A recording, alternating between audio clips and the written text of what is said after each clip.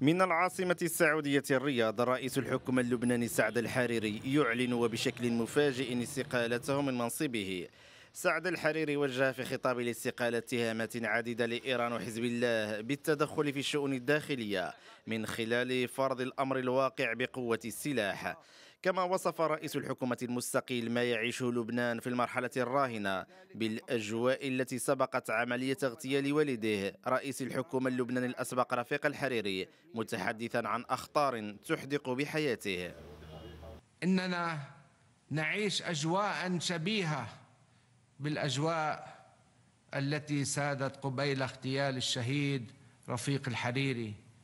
وقد لمست ما يحاك في الخفاء لاستهداف حياتي وانطلاقا مما أؤمن به من مبادئ ورثتها من المرحوم الشهيد رفيق الحريري ومن مبادئ ثورة الأرز العظيمة ولأنني لا أرضى أن أخذل اللبنانيين أو أقبل بما يخالف تلك المبادئ فإني أعلن استقالتي من رئاسة الحكومة اللبنانية.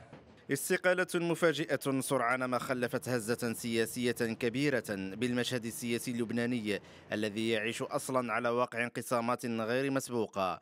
التوجس يطفو على الطبقة السياسية من تداعيات الاستقالة على الوضع السياسي والاقتصادي فيما تعتبر أصوات أخرى أن الاستقالة خطوة سياسية جريئة.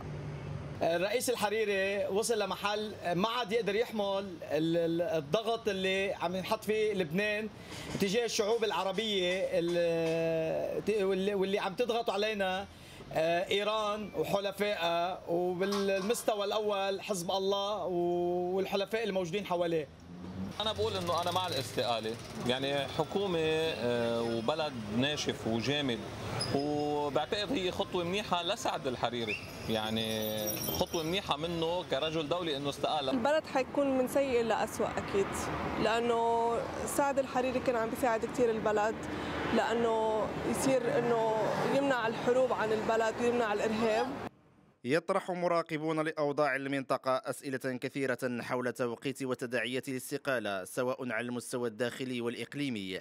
استقالة مفاجئة تدخل لبنان نفقا جديدا وتضع البلاد مجددا أمام وضع سياسي غاية في التعقيد. لكن الثابت وفق ردود الفعل الأولية المسجلة.